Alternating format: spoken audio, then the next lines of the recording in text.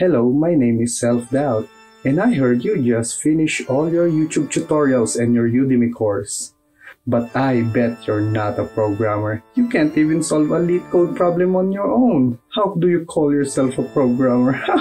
Before we go to self doubt, if I may, let me ask you some questions. Are you thinking of giving up with coding?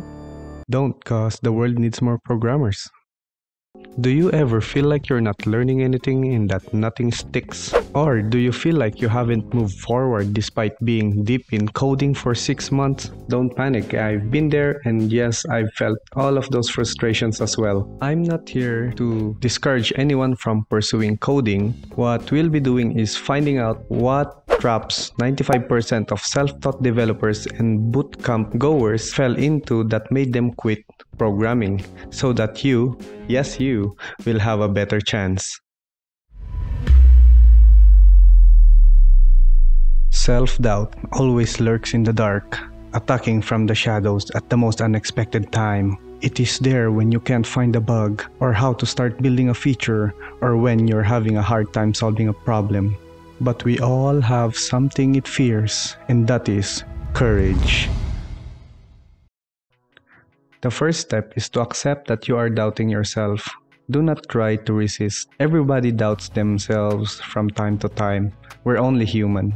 Even seasoned developers like me doubt myself. I doubt myself, to be honest. As a developer with 5 years of experience, the way I handle it is by listening to that little voice that says I can't do it and just try to prove it wrong.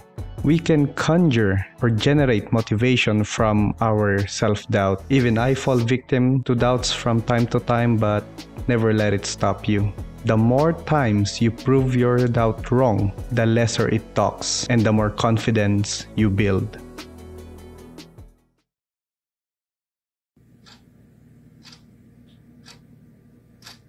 Many fantasize about the goal and not on the grueling work and sacrifice it takes to get there, hoping to a point of inaction. With the rise of social media and apps that just give out dopamine by the seconds without even a thread of hard work, it's not surprising that most people just want results to get that hit of dopamine again.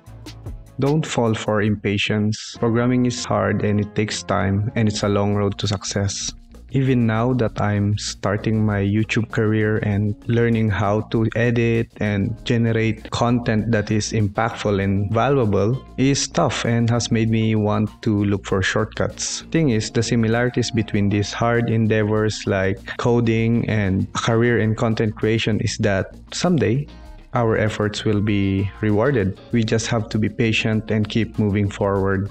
I forgot which book that said this, but from what I can understand and remember is that it is better to fantasize about the steps and work that needs to be done to get to your goal than the goal itself. This way, you'll have actionable plans and not be trapped in a feedback loop of fantasizing about the future without doing anything. So, trust the process, set up systems that focus on work or coding that needs to be done and not on what you'll get in return money, prestige.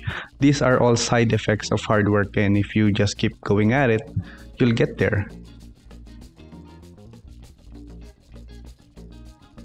In terms of self doubt, I would just like to say that you can do it. It just takes some time. Believe me, it took me quite a while for my self doubt voice to lessen its talking. It still talk from time to time, but it's just another opportunity to prove it wrong.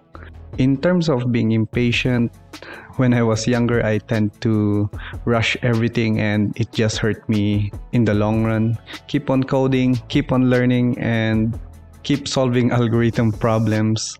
The tougher, the better. And always remember every time you accomplish something, no matter how small, you pat yourself in the back, give yourself a kind word and reward yourself. That is certainly what I do.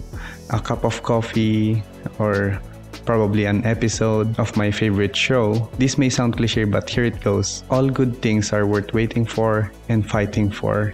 Lastly, I'd like to thank you all for 100 subscribers. My intention is to make videos that help you on your software engineering journey It would be really helpful if you help me as well by giving this video a thumbs up. It shows the algorithm that this video doesn't suck that bad.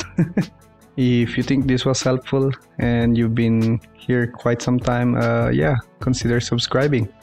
Thanks.